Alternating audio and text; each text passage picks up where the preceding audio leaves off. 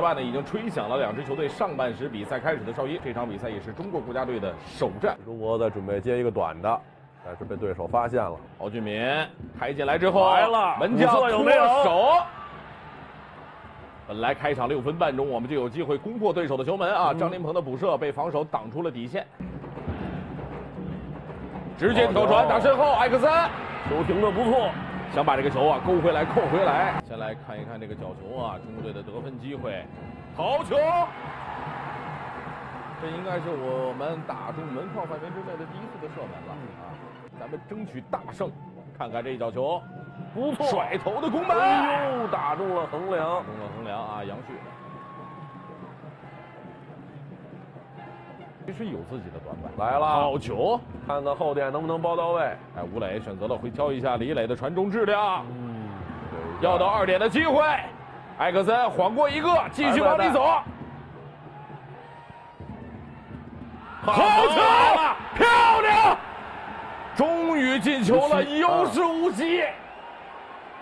关键的时刻，你看所有的进攻点，嗯。大家都用完了之后，需要有第五点、第六点冲出来的时候，基本都是无锡。对，为了告诉队员，你们接下来打的就是啊，来了，又是无锡。哎呦，你看有几个大家特关注的这个进攻点没打开，反倒是无锡这一点率先打开了。啊，身后的第二落点，先看看李磊发的可以，哦，这一下二点球到了一起，嗯，直接砸开了球门的方向。立功了。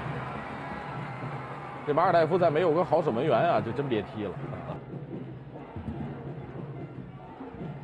到一侧，能不能摆回来？摆回来，了打门前。这球是不是越位了？现在主裁判的手势进球有效啊，二比零，压着四十五分钟这道线，打进了又一个进球。当然，马尔代夫的这个队员呢，在向主裁判进行抗议和投诉。嗯，同时呢，有一个信息力量提示给大家，就是在世预赛这个期间啊，是没有 VAR 的。哦啊，王刚能不能冲起来？对，这个位置不要重叠啊，王刚，走了，千里走单骑，传中质量，来大门门哎前。呀可惜呀、杨旭也一直守在给脚下，说你传，直接大力轰门，直接大门，哎呦，挂中了十分角啊！